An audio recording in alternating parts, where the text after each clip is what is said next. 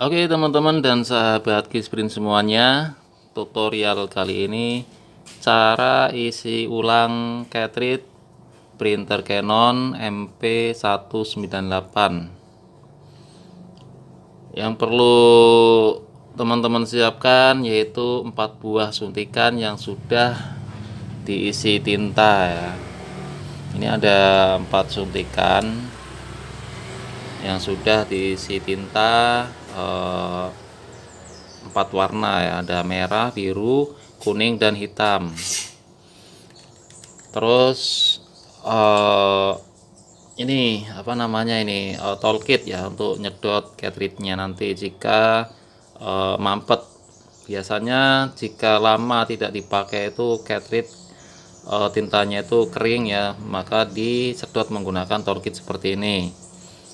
Uh, dan ini belinya di online ya di Shopee atau di Lazada. Jika teman-teman tidak punya bisa uh, habis diisi taruh di tisu ya. Cartridge-nya taruh di atas tisu seperti ini agar tintanya itu uh, meresap ke tisu. Kalau sudah kering parah ya direndam menggunakan air panas bagian bawahnya saja Oke langsung saja caranya.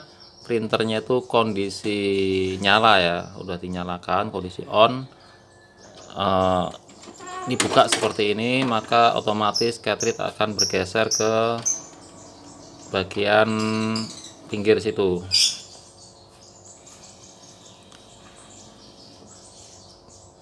Terus cara mengambilnya tinggal tekan aja ke bawah seperti ini ini 831 untuk yang warna. Dan 830 untuk yang hitam. Kita mulai yang hitam dulu atau black. Ini jika masih baru itu uh, stikernya kita lepas seperti ini.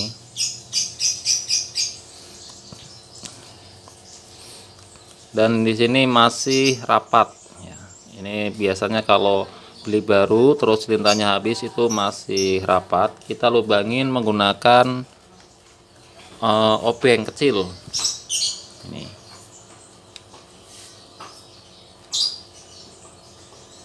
Ini ada tanda nih tengah-tengah titik ini. Kita lubangin aja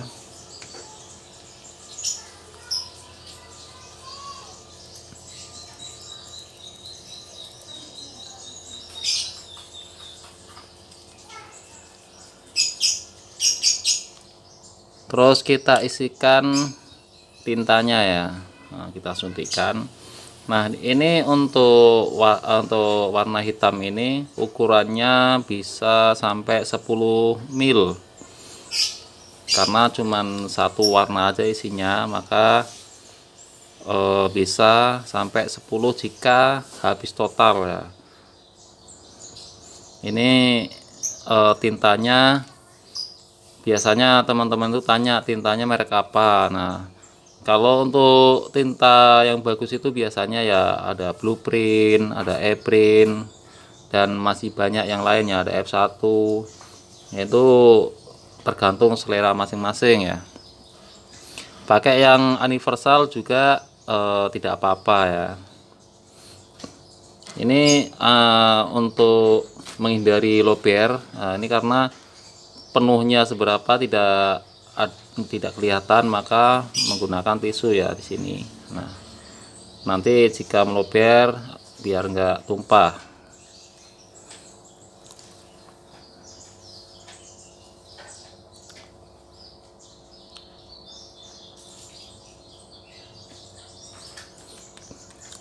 Nah ini isinya 10 mil. Ini sebetulnya masih bisa takutnya nanti lober kita isi 10 mil saja. Kemudian eh, sedot ya menggunakan toolkit seperti ini.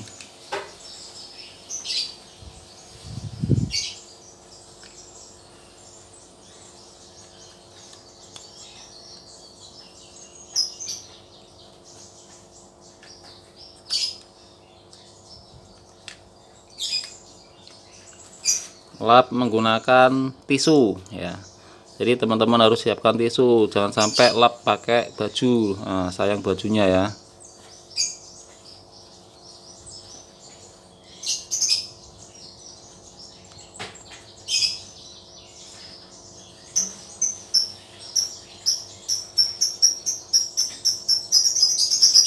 Ini sudah.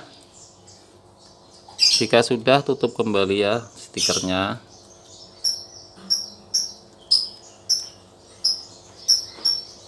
nah ini untuk yang hitam sudah. Sekarang kita lanjut yang warna. Ini kita buka stikernya.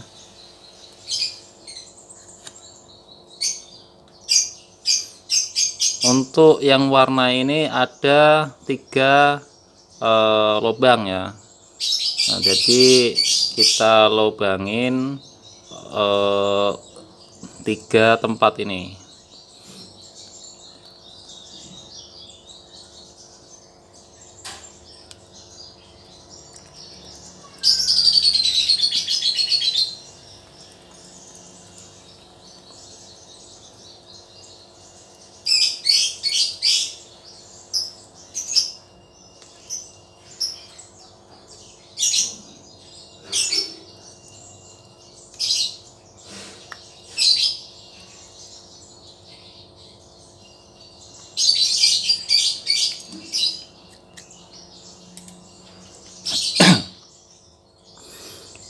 ini sudah dilubangin seperti ini. Kita isikan yang paling depan.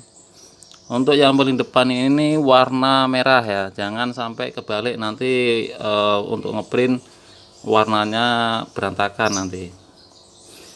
Ya, ini untuk paling depan itu e, warna merah ya. Untuk ukurannya e, untuk cartridge warna ini bisa sampai 7 mil ya.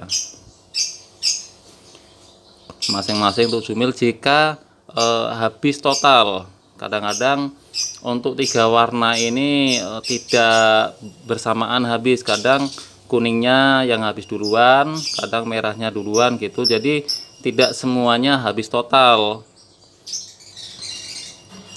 Maka tidak semua harus diisi 7 mil. Ada yang sudah habis ada yang masih banyak maka tidak sama isinya. Nah, untuk menghindari lober nah, pakai tisu seperti ini ya. Karena kita tidak tahu ini masih berapa banyak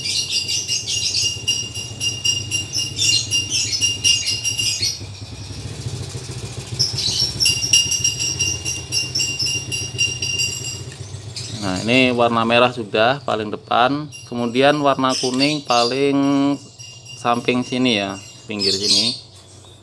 Nah ini ini merah kuning.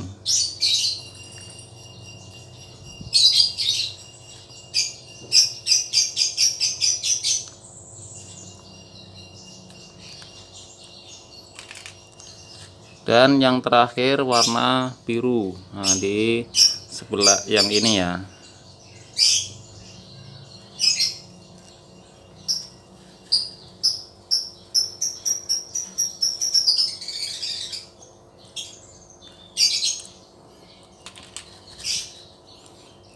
jika sudah sedot ya menggunakan toolkit ini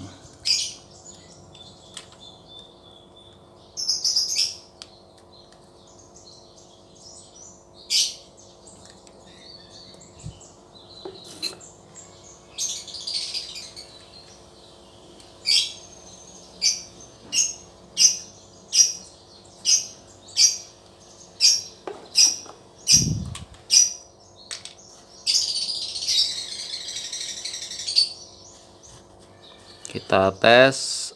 Nah ini sudah keluar semua ya warnanya ya. Biru merah kuning ya. Nah ini hasilnya nanti mudah-mudahan masih bagus. Sekali lagi buat teman-teman yang nggak punya alat penyedot ini bisa taruh seperti ini ya. Atas tisu sini biarkan selama 10 menit atau 5 menit gitu. Nah, nanti tinta itu kesedot sama tisu ya. Bisa juga di cleaning menggunakan printernya.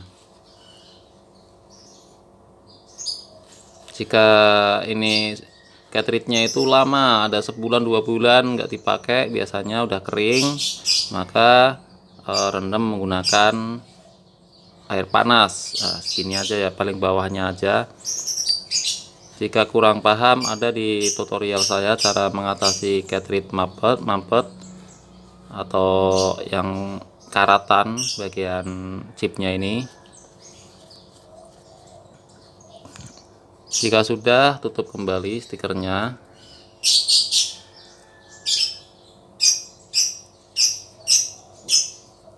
nah ini jika stikernya rusak bagaimana nutupnya? Nah, bisa menggunakan solasi atau stiker yang lain. Yang penting buat nutup saja. Oke kita pasang ya. Ini cara memasangnya sangat mudah tinggal dorong saja. Ini untuk yang warna itu uh, ada di sini ada tulisan ya. Ada C dan B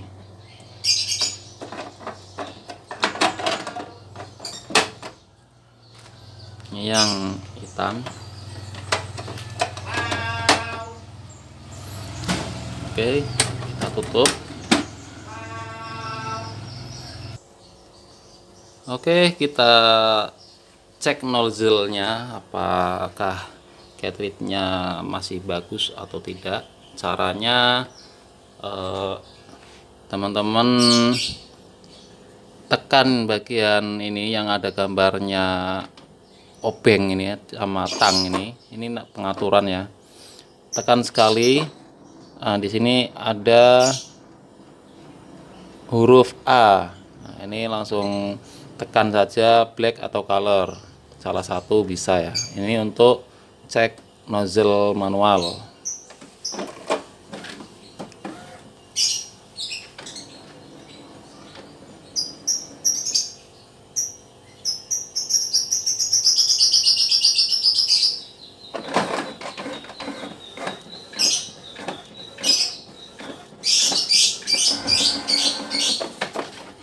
nah ini hasilnya. Setelah diisi tinta hasilnya sangat jos sekali ya. Oke begitu saja tutorial dari saya cara isi ulang cartridge ya, semoga video ini bermanfaat buat teman-teman semuanya. Jangan lupa klik tombol subscribe like dan share banyak-banyaknya